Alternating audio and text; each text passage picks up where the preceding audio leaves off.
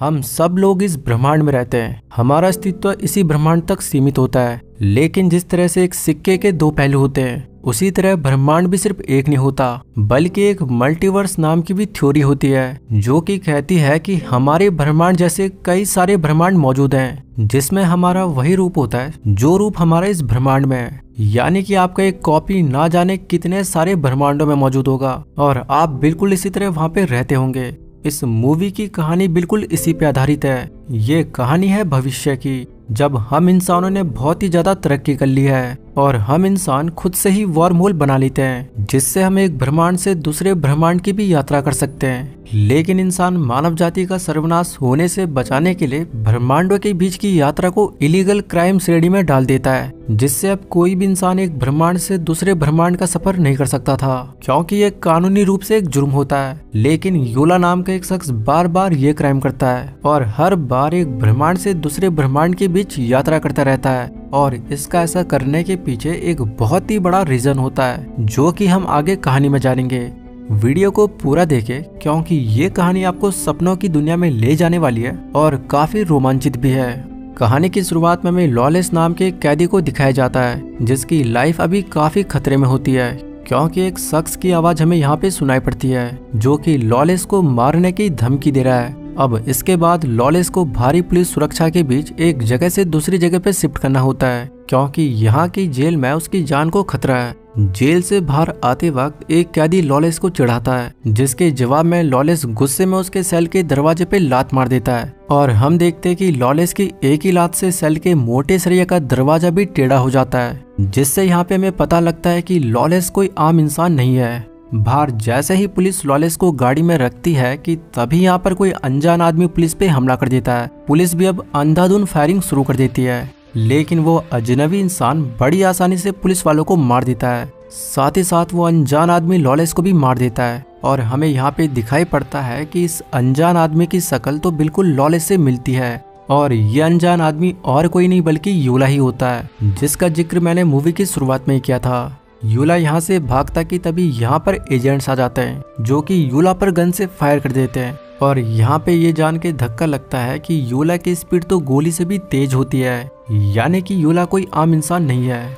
यूला यहाँ से भागता और दो एजेंट उसका पीछा करते हैं। इन एजेंट्स का नाम रोडेक और फंच होता है। ये दोनों मल्टीवर्स एजेंट होते हैं, यानी कि ये किसी भी क्राइम को रोकने के लिए किसी भी ब्रह्मांड में आ जा सकते हैं। यूला भागते भागते उस जगह पे आ जाता है जहाँ पे वार्म होल का पोर्टल खुलने वाला होता है, जिससे योला इस ब्रह्मांड से हमेशा के लिए भाग जाएगा, लेकिन तभी यहाँ पे फंच आ जाता है, जो कि जानता है कि योला अब किस ब्रह्मांड में जाएगा। इसीलिए वो अपने एडवांस गैजेट से वार्म होल की लोकेशन एल्फा यूनिवर्स में सेट कर देता है और योला को गन पॉइंट पे ले लेता है। तभी यहाँ पे रोडेकर भी कार में आ जाता है और ये दोनों यूला को घेर लेते हैं। लेकिन इसी पल यहाँ पे वार्म होल का पोर्टल खुल जाता है और ये तीनों टेलीपोर्ट होके अल्फ़ा यूनिवर्स आ जाते हैं, जहाँ पे सारे के सारे मल्टीवर्स के एजेंट्स रहते हैं।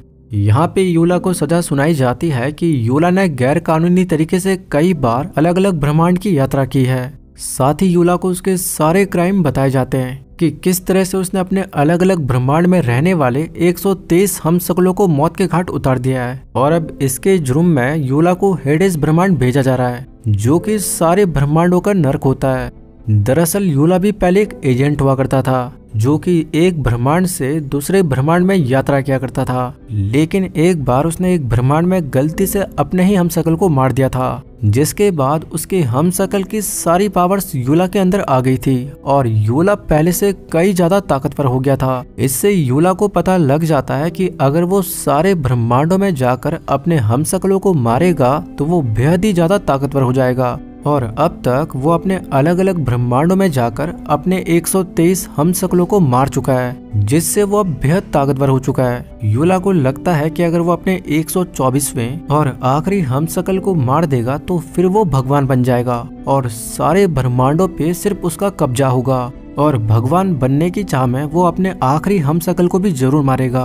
अब योला को सजा सुनाने के बाद उसे जेल में बंद कर दिया जाता है और कल उसे हेडेस यूनिवर्स यानी नर्क की दुनिया में भेज दिया जाएगा। रोडेकर अब जेल में यूला से मिलता है और उसे बताता है कि उसे वो पुराने दिन याद आते हैं, जब यूला भी एक एजेंट के रूप में काम किया करता था। लेकिन इसके जवाब में यूला उसे बताता है कि जो मज़ा भगवान बनने में, वो एजेंट बनने में नहीं होता, और वो नौकर नहीं बल्कि सबका मालिक बनना चाहता है। दूसरे दिन अब सारे एजेंट्स यूला को एक चेयर से बाँध देते हैं, और अब यूला को हेडेस यूनिवर्स में भेजने की तैयारी शुरू हो जाती है, कि तभी यहाँ पर यूला की गर्लफ्रेंड आ जाती है, और इससे पहले वार्म होल पोर्टर यूला को हेडेस यूनिवर्स ले जाता, कि तभी यहाँ पे यूला की गर्लफ्रेंड एक चूहा छोड़ देती है, जिसके शरीर पे एक बॉम्ब लगा हुआ है। और इसी पल यहाँ पे एक बहुत तेज धमाका हो जाता है, जिससे कई सारे एजेंट जख्मी हो जाते हैं और यूला यहाँ पर इस चीज़ का फ़ायदा उठा सब एजेंट्स को मारने लगता है। हालाँकि एजेंट्स भी यूला पर फायर करते हैं, लेकिन यूला की रफ्तार गोली को भी मात दे देती है।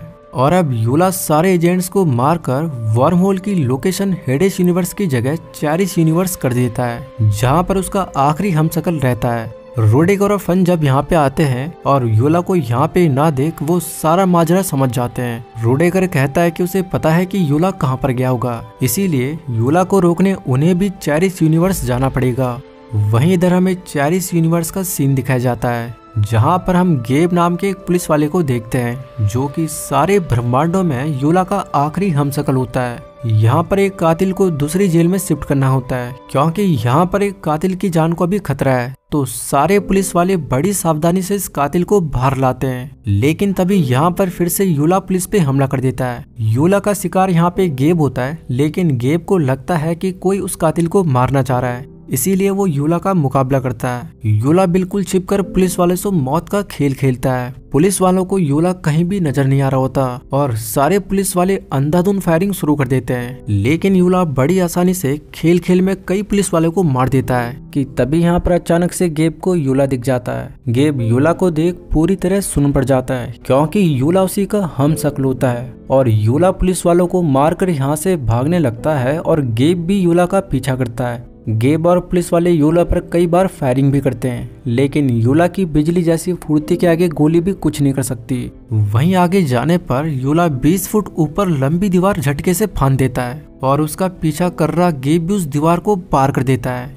ये देख सारे पुलिस वाले खड़े के खड़े रह जाते हैं, क्योंकि अभी अभी जो गेब और यूला ने किया वो एक असंभव चीज़ है। दीवार पार करने के साथ ही यूला गेब को गन से शूट कर देता है। लेकिन खुशकिस्मती से गेब ने बुलेट प्रूफ जैकेट पहना हुआ था, जिससे उसकी जान यहाँ पे बच जाती है। और अब यूला दोबारा गेब को शूट करे कि तब तक यहाँ पे एजेंट रोडेकर और फंच आ जाते हैं। और इस तरह यहाँ पे गेब की जान बच जाती है। गेब जब घर आता है तो वो अपनी पत्नी टीके से मुलाकात करता है और उसे बताता है कि वो अभी काफ़ी थका हुआ है, क्योंकि वो एक मुजरिम का सामना करके आ रहा है। और साथ ही उसे बताता है कि उसे गोली भी लगी है। तो फिर टीके यहाँ पे गेब को बताती है कि वो उसके साथ हॉस्पिटल चले, क्योंकि गेब को अपनी जाँच करवानी होगी। पहले तो गेब ये कहकर मना कर देता है कि उसने बुलेट प्रूफ सूट पहना हुआ था, लेकिन बाद में वो हॉस्पिटल जाने के लिए तैयार हो जाता है। अब इसके बाद गेब अपने आप को एक कमरे में बंद कर देता है, और अब गेब काफ़ी सोच में पड़ जाता है। उसे समझ नहीं आता कि उसने 20 फुट से भी ऊँची दीवार को कैसे फांद लिया था। उसे अपने अंदर मौजूद शक्तियों का भी एहसास होने लगता है। और इसी वक्त हम समझ जाते हैं कि गेब यूला के ही जितना पावरफुल है। क्योंकि ब्रह्मांड में जब भी यूला एक हमशक्ल को मारता है तो उसकी सारी एनर्जी सारे ब्रह्मांडों की हमशक्लों में बढ़ जाती है। और अब तो मात्र यूला का एक ही हमशक्ल बचा हुआ है। जिसका मतलब ये बनता है कि जितनी शक्तियाँ यूला के अंदर हैं, उतनी ही शक्तियाँ गेब के भी अंदर होंगी।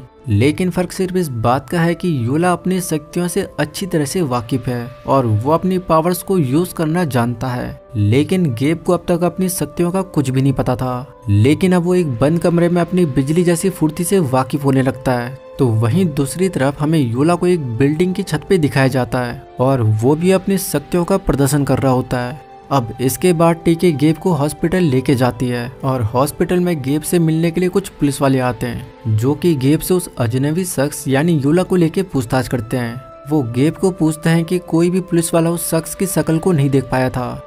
चूँकि गेब भी उसके सबसे नज़दीक था तो गेब भी ये बता सकता है कि वो कैसा दिखता है। लेकिन गेब यहाँ पे पुलिस वाले से झूठ बोल देता है कि उसने उस शख्स की शकल को नहीं देखा। लेकिन उसकी पत्नी टीके उसका ये झूठ पकड़ लेती है और बाद में वो अकेले में गेब से पूछती है कि उसने पुलिस वाले से झूठ क्यों बोला।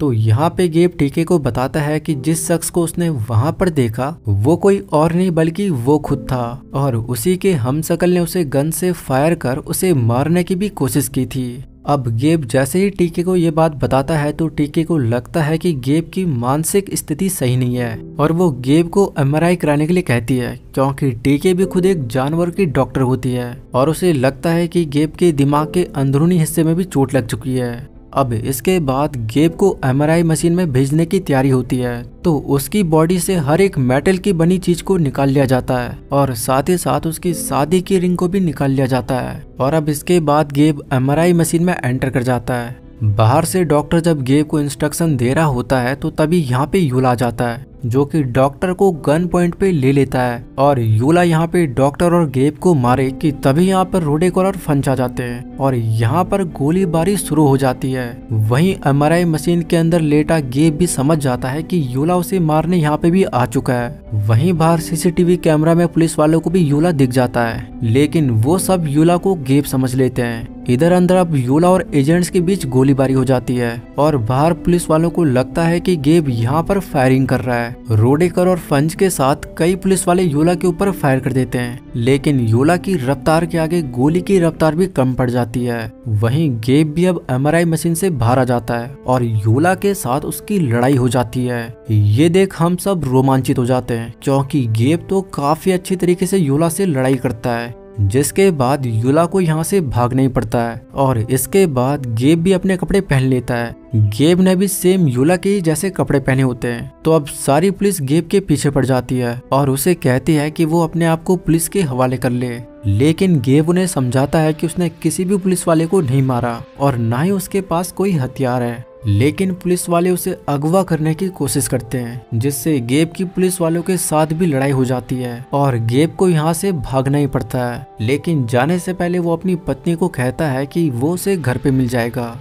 वहीं अब रोडेकर और फंज की हालत खराब हो जाती है, क्योंकि उन्होंने अभी अभी यूला और गेब का आमना सामना होते हुए देखा और उन्हें ये पता लग जाता है कि गेब भी बहुत ही ज़्यादा ताकतवर है। और अगर इन दोनों में से कोई भी एक मर गया तो दूसरा सारे ब्रह्मांडों पे राज करेगा। इसलिए अब ये दोनों एजेंट मुश्किल में पड़ जाते हैं। रोडेकर फंज को समझाता है कि वो यूला को पकड़ने उसके पीछे जा रहा है, और अगर ज़रूरत पड़े तो वो यूला को मार भी देगा। चाहे उसे खुद की ही जान क्यों ना गंवानी पड़ जाए तो वहीं फंच गेब के पीछे जाएगा और उसे संभालेगा। अब ये दोनों एजेंट यहाँ से अलग हो जाते हैं। और फंच गेब का पीछा करता है तो वहीं रोडेकर यूला का पीछा करता है। लेकिन गेब को एहसास हो जाता है कि कोई उसका पीछा कर रहा है और वो फंच को पकड़ भी लेता है। वो उसे गन पॉइंट पे लेके उसे पूछता है कि वो कौन है और उसका पीछा क्यों कर रहा है। तो यहाँ पर फंच उसे अपनी पहचान बताता है कि वो एक मल्टीवर्स एजेंट है।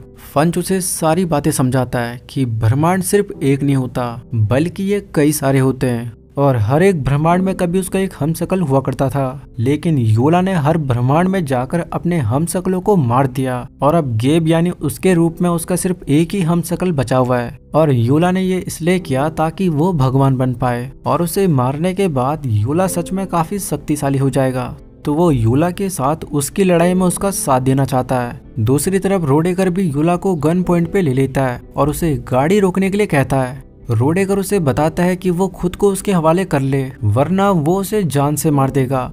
लेकिन यूला पल भर में ही सारा खेल पलट देता है। वो रोडेकर को इतनी बुरी तरह मारता है कि रोडेकर अधमरा हो जाता है और अब रोडेकर को लग जाता है कि वो अब नहीं बच पाएगा। तो वो अपने हाथ में एक बेहद खतरनाक बॉम्ब को पकड़ लेता है और वो उस बॉम्ब को डेटोनेट कर पाए कि बिजली की रफ्तार से यूला उस बॉम्ब को उसके हाथ से छीन लेता है और रोडेकर को जान से मारकर उस बॉम्ब को अपने पास ही रख लेता है, क्योंकि ये बॉम्ब काफ़ी विध्वंसक और खतरनाक होता है और इस तरह यहाँ पे रोडेकर भी मारा जाता है। इसी पल अब यहाँ पे पुलिस आ जाती है, जो कि यूला को धमकी देती है कि वो अपने आप को उनके हवाले कर दे, लेकिन यूला उनको भी बहुत ही बुरी तरीके से मार देता है। यूला पूरी तरह से काबू के बाहर हो जाता है। तो वहीं इधर फंज को भी पता लग जाता है कि रोडेकर मारा जा चुका है। और अब वो गेब को बताता है कि पूरे ब्रह्मांड में सिर्फ़ वही है जो कि यूला का मुकाबला कर सकता है, क्योंकि वो भी उसके ही जितना पावरफुल है। लेकिन गेब उसकी किसी भी बात को सीरियस नहीं लेता। उधर हमें टीके को दिखाया जाता है जो कि पुलिस वालों के बीच अपने घर को जा रही है। पुलिस वालों को लगता है कि गेब ने अपना मानसिक संतुलन खो दिया है, इसीलिए गेब टीके पे भी हमला कर सकता है। तो यहाँ पे पुलिस टीके को प्रोटेक्शन देती है। अब जब टीके घर आती है तो पुलिस उसके घर में छानबीन करने लगती है। इस आस में कि गेब इसी घर में छिपा हुआ होगा। टीके जब वॉशरूम में जाती है तो वो वहाँ के वॉश बेसिन में खून लगा हुआ देख लेती है और उसे पता लग जाता है कि हो ना हो गेब इसी घर में छिपा हुआ है। तो वो यहाँ पे पुलिस ऑफिसर से बात करती है कि वो अभी अपने कमरे में रेस्ट करना चाहती है। तो पुलिस उसके कमरे को छोड़कर बाकी कमरों की छानबीन कर सकते हैं। और अब इसके बाद पुलिस ऑफिसर टीके की बात मानकर रूम से बाहर आ जाता है और इसी पल टीके के ऊपर एटिक से आवाज़ आती है और वो एटिक खोलती है तो पाती है कि गेव वहाँ पर छिपा हुआ है। गेब उससे कहता है कि वो उसे गन पकड़ाए, क्योंकि पुलिस वाले से बचने के लिए उसके पास हथियार होने चाहिए, वरना वो पुलिस वाले उसे मार देंगे। तो यहाँ पे टीके ड्रावर में से गन निकालती है। लेकिन इसी पल वो घर की बाहर की छत में गेब की हम सकल यूला को भी देख लेती है, जिसको देख वो पूरी तरह सुन पड़ जाती है। और अब उसे गेब की बातों पे पूरी तरह विश्वास हो जाता है कि गेब ने जो भी कुछ उसे बताया वो बिल्कुल सच कह रहा था। लेकिन टेके अब काफ़ी मुश्किल में पड़ जाती है। उसे ये तक नहीं पता कि एटिक में छिपा हुआ गेब क्या असली गेब है, या फिर बाहर छत में जो पुलिस से छिपने की कोशिश कर रहा है। तो ये जानने के लिए वो एटिक वाले गेब के पास जाती है और कहती है कि जब वो पहली बार लाइब्रेरी में मिले थे तो उसने नहीं सोचा था कि उन दोनों को कभी ऐसा भी दिन देखना पड़ेगा। तो इस पे गेब उसे कहता है कि हाँ लेकिन वो दोनों हमेशा से एक दूसरे के लिए ही बने थे। ये सुनते ही टेके गेब पर गन तान देती है, क्योंकि उसे पता लग जाता है कि ये गेब नहीं, बल्कि यूला है, क्योंकि गेब से वो कभी लाइब्रेरी में मिली ही नहीं, बल्कि उन दोनों की पहली मुलाकात क्लिनिक में हुई थी। लेकिन अब यूला नीचे आकर गन को पकड़ लेता है, और उसे ही गन पॉइंट पे ले लेता है। पुलिस ऑफिसर यहाँ पे टीके को बचाने आता है, लेकिन यूला उसे भी मार देता है। बाहर से गेब ये सब देख रहा होता है और गेब के सामने ही यूला उसकी पत्नी टीके को भी मार देता है। और अब पुलिस वालों और यूला के बीच गोलीबारी शुरू हो जाती है और मौका पाकर यूला यहाँ से भाग जाता है। तो वहीं गेब को पुलिस वाले यूला समझकर उस पे ही फायरिंग करने लगते हैं, जिससे अब गेब को भी यहाँ से भागना पड़ जाता है। लेकिन पुलिस उसका पीछा करती है। तभी आगे जाकर फंच गेब को अपनी गाड़ी में बिठा यहाँ से निकल जाता है। अपनी पत्नी टीके की मौत के बाद गेब अब काफ़ी दुखी हो जाता है और गुस्से की आग में अब वो यूला को किसी भी तरह खत्म करना चाहता है। साथ ही फंच भी यहाँ पर अपने बॉस रोडेकर का बदला यूला से लेना चाहता है। लेकिन दूसरी तरफ़ फंच यूला की शक्तियों से अच्छी तरह वाकिफ है। उसे पता है कि यूला को हराना लगभग नामुमकिन है, क्योंकि उसकी बिजली जैसी फुर्ती के आगे बंदूक की गोली भी काफ़ी धीमी लगती है। लेकिन गेब उसको बताता है कि शायद वो भूल रहा है कि गेब भी उतना ही ताकतवर है जितना कि यूला। और आगे फंच एक पेट्रोल पंप पर अपनी कार को रोक देता है और गुस्से की आग वो अपनी पत्नी के मरने के प्रतिशोध में गेब यहाँ पे एक लोहे के पोल को एक ही लात में तोड़ देता है, जिससे यहाँ पर दुकानदार इन दोनों को काफ़ी खरी खोटी सुनाता है। और आश्चर्य से ये शॉपकीपर इस ब्रह्मांड में रोडेकर का हमसकल होता है, जिसको देख फंच भावुक हो जाता है, क्योंकि रोडेकर उसका बॉस हुआ करता था। फंच उस आदमी को कहता है कि भले ही वो उसे नहीं जानता हो, लेकिन वो बस उसका शुक्रिया करना चाहता है, क्योंकि उसने उससे लाइफ में बहुत कुछ सीखा है। उस दुकानदार को देख फंच को अपने बॉस रोडेकर की याद आ जाती है तो वो यहाँ पे थोड़ा सा भावुक हो जाता है। लेकिन अब फंच के अंदर भी प्रतिशोध की भावना पैदा हो जाती है और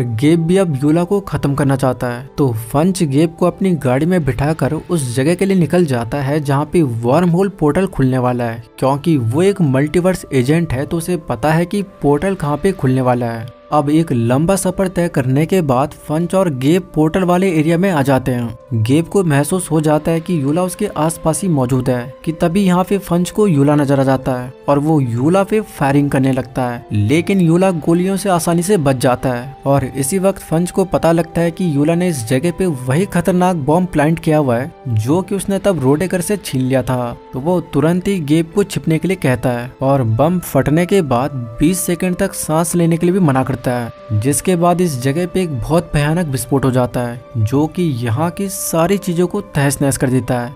बॉम्ब का असर कम होने के बाद फंच देखता है कि गेब वहाँ पर नहीं है, और इसका फ़ायदा उठा यूला फंच पर हमला कर देता है। हालाँकि फंच बहुत बहादुरी से यूला से लड़ाई करता है, लेकिन यूला तो फिर भी यूला होता है। उसके आगे फंच की बहादुरी पानी भर देती है, और वो फंच की अच्छे से धुलाई कर देता है। फंच का वो पैर भी तोड़ देता है। बेचारा फंच लंगड़ाते हुए अपनी बंदूक लेने जाता है, लेकिन यूला उसकी धुलाई कर देता है और इससे पहले फंच मारा जाए यहाँ पे गेब आ जाता है और अब ये दोनों महाबली एक दूसरे के सामने होते हैं। दोनों ही यहाँ पर अपने अस्तित्व की लड़ाई लड़ते हैं और इस लड़ाई में कभी यूला का पलड़ा भारी पड़ता है तो कभी गेब का, क्योंकि दोनों ही एक समान रूप से ताकतवर हैं। लेकिन यूला के पास लड़ाई का काफ़ी एक्सपीरियंस होता है। उसे पता है कि कैसे उसे अपने हम सकल को मारना है, क्योंकि ये काम वो 123 बार पहले भी कर चुका है। और यहीं पे गेब मात खा जाता है। यूला की फूर्ती और रफ्तार के आगे गेब की चमक भी फीकी पड़ जाती है। और यूला गेब को धराशाई कर ज़मीन पे गिरा देता है। लेकिन इसी पल गेब अपने हाथ की उंगलियों को देखता है, जहाँ पर उसकी वेडिंग रिंग का छाप अभी तक होता है। गेब को ये देख अपनी पत्नी टीके की याद आने लगती है, लेकिन अब टीके उससे हमेशा के लिए दूर जा चुकी है। ये सब याद कर गेब अब फिर से खड़ा हो जाता है, और जैसे कहा जाता है कि घायल शेर और भी खतरनाक होता है, वैसे ही गेब अपनी पूरी ताकत से यूला से लड़ाई लड़ता है, और अब वो यूला की अच्छे से धुलाई भी कर देता है, लेकिन वो खुद भी काफ़ी बुरी तरह जख्मी हो गया है। तो वहीं फंच भी अब काफ़ी जख्मी हुआ पड़ा है। और इसी वक्त यहाँ पे वार्म होल पोर्टल खुल जाता है, जिससे ये तीनों टेलीपोर्ट होके अल्फ़ा यूनिवर्स आ जाते हैं, जहाँ पे सारे मल्टीवर्स एजेंट रहते हैं। लेकिन यहाँ पर भी यूला एक चाल चलता है, और वो उन एजेंट्स को खुद को गेप और गेप को यूला बताता है, जिसके बाद सारे एजेंट एक लोहे की चेयर में गेप को यूला समझकर बाँध देते हैं, और अब वार्म होल से गेप को नर्क की दुनिया, यानी हेडेस यूनिवर्स में भेजा जाएगा। तभी यहाँ पर फंच बड़ी मुश्किल से खड़ा हो जाता है। फंच गेब के हाथ में रिंग के निशान को देख लेता है और तुरंत सारे मल्टीवर्स एजेंट को बताता है कि ये यूला नहीं है, बल्कि ये तो गेब है। यूला तो अभी ज़मीन पर पड़ा हुआ है, जिसके बाद यहाँ पे गेब को आज़ाद कर लिया जाता है और फिर योला को चेयर से बाँध लिया जाता है और उसे वार्म होल पोर्टल के ज़रिए हेडेस यूनिवर्स यानी नर की दुनिया में भेज दिया जाता है। और इस तरह से ब्रह्मांड को बैलेंस रखने के लिए ये सारे मल्टीवर्स एजेंट योला को मारने की बजाय नर्क में भेज देते हैं। तो वहीं अब मल्टीवर्स एजेंट्स का सीनियर गेब को भी उसके ही यूनिवर्स, यानी कि चैरिस यूनिवर्स में भेजना चाहता है। लेकिन फंच उन्हें ये करने के लिए मना कर देता है क्योंकि वहाँ पर पुलिस गेब को मार देगी। क्योंकि चैरिस यूनिवर्स में जितने भी कत्ल और क्राइम यूला ने किए, उन सबकी ही सजा गेब को दी जाएगी। तो फंच को पता है कि उसे गेब को कहाँ और कौन से यूनिवर्स में भेजना है, जहाँ पर गेब बिल्कुल सुरक्षित रहे। तो फिर इसके बाद फंच गेब को वार्मोल पोर्टल के थ्रू किसी अननोन यूनिवर्स में भेज देता है, जहाँ पर गेब सड़क पे पड़े एक जख्मी डॉग को हाथ में पकड़ पास के क्लिनिक पे ले जाता है, और जैसे ही वो डॉक्टर को देखता है तो उसे धक्का लगता है, और वो कुछ भी नहीं बोल पाता, क्योंकि ये डॉक्टर और कोई नहीं, बल्कि इस यूनिवर्स की टीके होती है, जो कि इस यूनिवर्स में भी एक डॉक्टर है। और ये सीन हम ऑडियंस को सोच में डाल देता है कि ऐसे कैसे हो सकता है। तो दरअसल मेरे हिसाब से वार्मोल पोर्टल से इस बार गेब टाइम ट्रेवल कर पीछे के समय में आ गया होगा, जब वो पहली बार टीके को क्लिनिक पे मिला था और बाद में इन दोनों की शादी भी हुई थी। या फिर ये भी हो सकता है कि इस यूनिवर्स में टीके की एक हमसकल है, जो कि इस ब्रह्मांड में भी इत्तेफाक से एक डॉक्टर है। खैर, इसमें आपकी क्या राय है, ये तो आप नीचे कमेंट सेक्शन में ज़रूर बताएँ।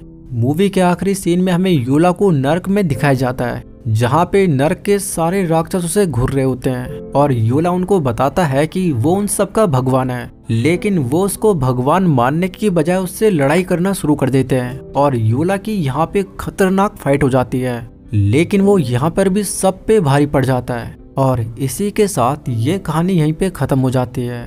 दोस्तों, अगर आपको मेरा ये एक्सप्लेनेशन पसंद आया हो तो आप मेरे इस वीडियो को लाइक कर मेरे इस चैनल को सब्सक्राइब कर मुझे सपोर्ट कर सकते हो।